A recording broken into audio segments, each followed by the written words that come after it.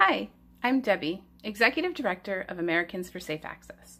We are the nation's largest medical cannabis patient organization. Through education and activism, we have helped create the modern medical cannabis landscape in the U.S., and our work is far from over. We hope you will join us in supporting safe access for all Americans. Visit safeaccessnow.org to learn more.